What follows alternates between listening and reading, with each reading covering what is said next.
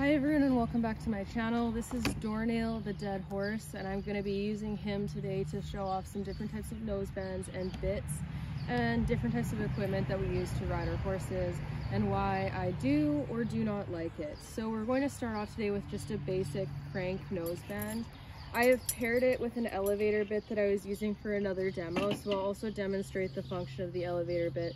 But first we're gonna focus on this crank nose band, especially when it's over tightened. The reason why I show things when they're over tightened is because the incorrect use of an object is honestly the common use of it in a lot of areas of the horse world.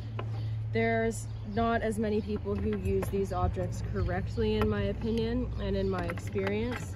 Okay, so this is it fitted fairly loosely. Like I can almost fit two fingers in. It's just pushing it on like the end side of the two finger rule.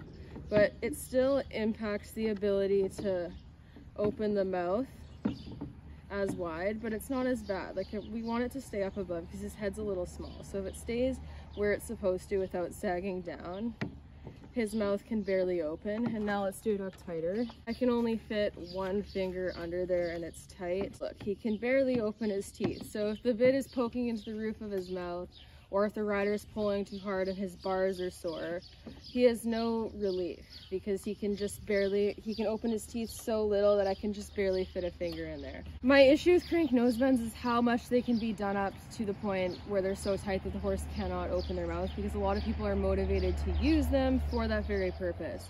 So I'm not a fan of them because they can be easily abused. With that said, they do have a more even pressure along the face than other types of nose bands do because of the ability to crank them. So if they're fitted properly, they might be more comfortable for some horses than a regular Cavesson nose band due to um, them fitting more securely over the nose. With that said, like I always, if I use them, I do them up so loosely that they're basically functioning like a normal nose band.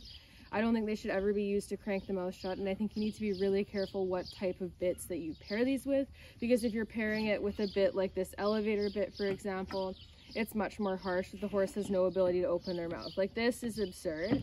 Um, and again like people th there's enough space that I can fit fingers under the sides so people would work to justify a nose band that is fitted this tightly easily because it's not digging into the horse's face and restricting them to the point where you can like openly see it due to the indents on the face so a lot of people would fit their nose bands like this um, even with it more lightly fitted it did impact the ability to open the jaw now, let's look at the elevator bit.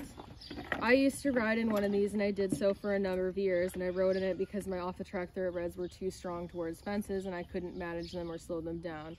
Um, and it was me who needed the bit, not the horse, and I didn't need the bit per se, but I needed it to try to accomplish things at the impatient time frame I was trying to go at.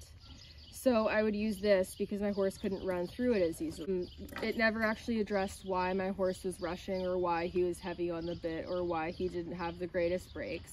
It simply just made the consequences greater for him if he ignored my hand. Um, and that's my issue with these. They're used to band-aid a lot of problems in training without actually addressing the underlying cause, which for horses with rushing can be due to stress, pain, discomfort, anxiety, even just like general lack of muscle and lack of um, coordination and just needing to get stronger. It can be caused by all those things. And when people put a bit on to try to fix that, it's bringing all that down simply, reducing it simply to just the horse deciding to be a certain way. And the belief that any little piece of equipment can completely fix a behavioral issue, I think is just silly in itself, unless the equipment is about securing the horse's comfort. So the longer the shanks are on a bit, just to keep it nice and simple, the more amplified the pressure is going to be because it works as like a lever system. So I'm gonna pull this back a little bit because this horse that we're modeling this on is a little guy.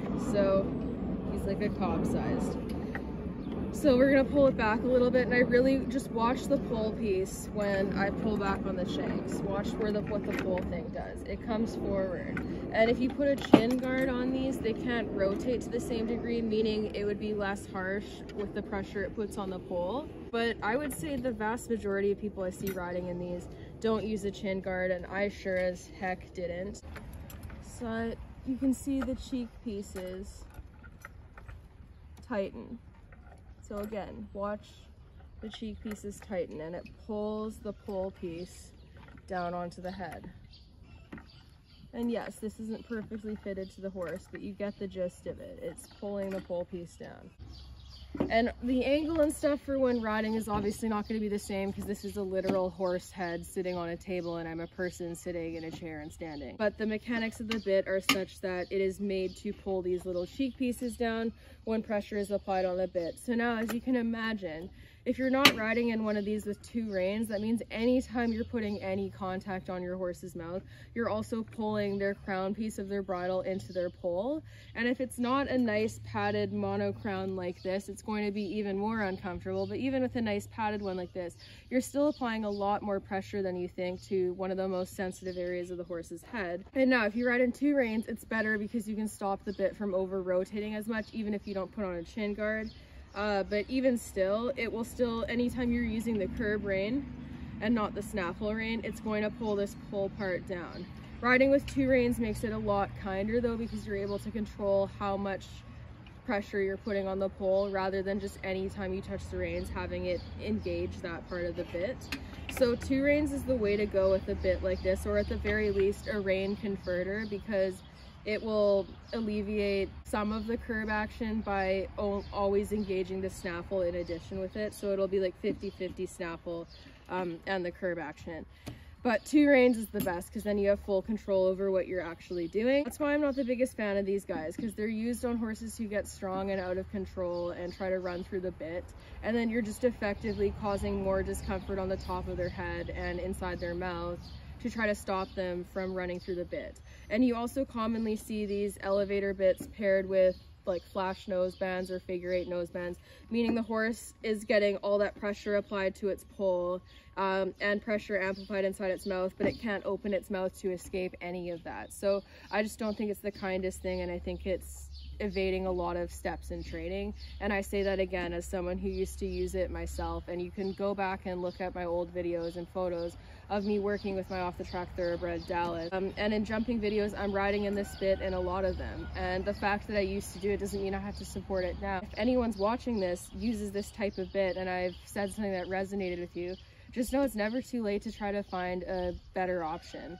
And there's better options on the market that are kinder to the horse and less likely to be used, misused, or cause the amount of pain a lot of the bits on the market we see today do. I recommend checking out those. I am working with a bitting company called Horse Bit Barn um, it's a local bit fitter that I work with and I'm sponsored by her. I got sponsored by her last year, so I've been trialing a lot of the bits and she's been teaching me a lot about different aspects of bit mechanics and whatnot. So she's a great person to go to if you're having any issues with your horse and you want to book a bit fitting consultation to try to address any of the issues you're having with your horse and get paired with a bit that works for what you need to do with your horse and any struggles you're having. I wanted to discuss why I'm not a fan of this bit. So as you can see, there's a lot of different joints. It's like a completely collapsible bit. The amount of joints mean that there's several pinch points in comparison to other bits with less joints. So the pinch points mean they can grab at the horse's lips and tongue. In addition to that, when you're riding, most riders don't have a perfectly even contact on either side. So even if they're not seesawing, there can be some slight back and forth action, which increases the amount of pinching and rubbing of the lips because the shape of these is also quite abrasive in the mouth. Like it's not a nice feeling. It's if you run your hand up and down it, it like catches um, and pinches and it's not comfortable. Um, on top of that, because of it being this collapsible, your horse can't actually develop a true contact because anytime they try to connect and have contact with the bit and actually give you a feel of their mouth, the bit just collapses away from them. And that's really all that does is it stops them from having something to run through because there's nothing to lean on, but it's also pinching and grabbing at their mouth a lot and not teaching them to develop a real contact. This one is just a snaffle, but you can also see this mouthpiece paired with gags like this even, um, and all sorts of other different cheek pieces, which make it especially bad because if this is paired with a gag, it wraps around the tongue and then the pressure is amplified in the mouth and along the poll, all while having all these pinch points. I'm gonna put it on my arm and just pull back because you'll see how it leaves dents. Yeah, and there's just little marks left in my hand and it's sore. Especially when this is in a tongue and a softer structure like that. It's gonna grab and pinch more and pull more. Um, and when I'm doing this to myself, the other important thing to consider is that I am applying the pressure myself. I'm aware of when it's going to be applied, the degree it's being applied to, and I can stop it at any point. Horses don't have the ability to do that, so the level of fear and stress and pain that they feel in comparison to us doing these tests on ourselves would be substantially more because because they're not in control. So this is the Milestone Harlow bridle from my brand. It's the bridle that I created for my mare Harlow because she had some poll sensitivity from being galloped at the racetrack in one of these bad guys. So anyways, I wanted to show the difference in the horse's ability to open and close the mouth and the noseband. As you can see, there's a substantial difference in the ability to open and close the mouth. And it's because of the fact that the noseband attachment point is way over here. So you have this much noseband that's out in front where there's no attachment point. So this can't get anchored as well. So the horse is able to open their mouth more freely because the attachment point is set further back by their cheek rather than all around their mouth area. So it allows for more freedom of the mouth and it's also avoiding the cheekbones and other sensitive facial structures. Now, in addition to that, we have the mono crown piece that is shaped around the ears so that it's not going to curve into the ears. So when the horses flick their ears back to listen to signals, they're not just hitting a sharp edge of a bridle. So even in a, a, elevator bit with this bridle, the poll piece would still get pulled down like that, but the padded would at least alleviate some of it when compared to a non-padded bridle. And this bridle not having a flash would allow the horse more ability to alleviate pressure themselves. I wanted to try to make this bridle basically impossible or very difficult to use improperly, even if someone jacked up the noseband way too tight. And the attachment point on that on these bridles makes it quite difficult to do that. So I feel like I've succeeded in that. The goal is just to provide a good looking anatomical bridle that essentially functions as if the horse wasn't wearing a noseband because we're not using these bridles to tie the mouth shut or for any purpose to try to keep the mouth quieter. They're simply for the look of that traditional bridle with a noseband rather than riding without one. And you're able to provide that for your horse without adding in any other discomforts from having it have a drop noseband or something that's restrictive. And that was the goal with these anatomical bridles. So as you can see, there's quite a difference in the movement of the mouth and you can see how it avoids the cheekbones with the shape of the noseband. And with the brow band, it's shaped around a lot of the sensitive areas. Some horses might need bigger brow bands to accommodate their facial structure and size so that it's not pulling into their temples. But these were all things that I considered. I just really wanted to make it flashless because flashes impact the horse's ability to properly avoid discomfort under saddle. So I literally do not own a flash, so we're gonna use this piece of twine to represent a flash. This is a regular Cavesson noseband, and as you can see, even two finger fitted, like a little on the tight end of two fingers, more like one and a half. But even with that, it impedes the ability to open the jaw more than my bridle does.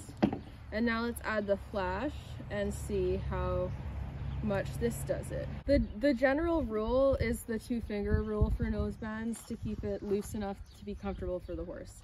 So now when you tighten a flash with a loose noseband, the problem is it does pull the noseband down like this because of how the flash is anchored. So this means it can be putting pressure on this really sensitive nasal area like I mentioned. So we really want to make sure that the noseband doesn't sag that low, ideally. But anyways, on this bridle it's going to because this horse is little. Um, so we're just gonna tie this up. So yeah, you can see how much this pulled the noseband down and then the horse's mouth is like effectively strapped shut. So we'll do it up looser this time. Keep this guy pulled back enough that, but yeah, so the flash is still impacting the ability to open the mouth. And now when these are done up too tight, which they are when they're done, were used with the purpose of strapping the mouth shut. Let's do it up too tight now. Too tight and the mouth literally cannot open. So that's where you get horses just going around like this with their teeth gritted and that's also a sign of discomfort or pain. So this is the new Western bitless bridle that I came up with for my company. I didn't realize until recently that so many Western products don't have a padded crown piece. So that was the first thing I did here was the padded mono crown with the cutouts for the ears. And then I also did the padded brow band and the padded nose band with all the fancy tooling. And then it's just a basic side pull where, one second, it's crooked, where you can just attach your reins to these little rings. And yeah, it rides basically like a halter. This one's much more secure than the Milo anatomical bitless bridle that I did because it's set up like a more regular Cavesson noseband. You still want to make sure this is fitted properly. You don't want to fit it too tight. Again, like if you're fitting it loosely, this is how much ability the horse would have to open their mouth. You also don't want bitless bridles to sit too low because again, if it was sitting right here, you'd be pulling against that sensitive nasal bone, which is not what you want to do. So this one's going to be getting released later on in the summer. We have some pre-orders that people are waiting on, so anyone who pre-ordered will get theirs first. And this will be the next bitless style that we're releasing. So this is the rose gold version of my anatomical bitless bridle. The noseband is shaped very similarly to the English one with the, the English bitted bridle. Um, so it's made to stay off of the face, avoid the cheekbones, and not sit as directly on the face as a normal noseband. So it's really good for horses who have already been ridden bitless and are very soft and responsive to bitless cues because it lays off of the face more. So it can be a great choice for people who want to ride bitless but have a horse that doesn't like a traditional Cavesson noseband because of how it sits on their face. Uh, but with that said, it is less stable on the face than one that is anchored around like this and has a more consistent feel like a traditional Cavesson. So I am coming out with a style that is more similar to a traditional Cavesson side pull in addition to this one so that people can shop all those styles. But the reason for this was for horses who like going bitless but don't like the feel of a traditional bitless bridle side pull or the cross under style bitlesses that have too much chin pressure. The last thing I wanted to show is just this bit that I recently got from my bit fitter for Banksy's first bit when he's eventually started. Um, and also just one to use on other green horses. This is the Bomber Blue molded mullen. It's very flexible and it's really thin and low profile in the mouth for horses who have low palates and small mouths. So it works really nicely and it's super soft. So this is the type of mouthpiece that I would recommend for people who have horses that like a mullen mouth and are soft, but you don't want something that's super easy for them to lean on because this one's a little bit harder for horses to lean on because it is molded to the mouth and it's collapsible a little bit, but it is comfortable in the mouth and doesn't have as many of the same risk factors as a bit like the Waterford. So anyways, that's your crash course on some common types of bits that I don't like and different types of nose bands, as well as introducing some of my new product line and why I was motivated to create it. I'm hoping that we'll start to see a shift in the horse world where there's less stuff on the market that's about making the horse do things based off of making them uncomfortable or in pain so that they answer quicker and that we start to kind of push away all the types of bits and training aids that are successful because of the discomfort that they cause. I would like to see kinder things on the market that are much more difficult to misuse and also don't rely on causing pain to have the horse respond. And that's what I was trying to do with my product line and we've just restocked the bridles. The new styles of the rose gold and the western ones will be in stock again sometime in the summer. We're going to be stalking them for the first time. So stay tuned with that. But it's been a long time to get here and I used some of the equipment that I'm criticizing actively now. So I encourage all riders everywhere to reconsider the equipment that they're using and really make sure that they're aware of the mechanics and how they're actually acting on their horse, not just how the mechanics of the equipment cause the horse to respond to their cues. Because the horse responding quickly to your cues doesn't mean that that was obtained ethically or fairly. So that's something to consider. Trainability and their ability to answer and do what you want is not necessarily correlated with welfare and comfort. So it's our job to continually ensure that we're providing those things for them. So anyways, thank you for watching and you can check out these bridles as well as my base layers and some of the other summer shirts that I've been releasing on the Amore Equestrian website. It's linked down below in the description. Please check it out. There's a lot of fun apparel options and saddle pads and we're having some pretty big sales on styles that we've had in for longer and we're going to be releasing some more of the tack and equipment as the summer goes on. So stay tuned for that and please check this out. I've tried to keep the prices affordable for all types of budgets and we do ship worldwide. So thank you again for watching and I hope that this was informative and helps people understand um, bridles and bits a little more.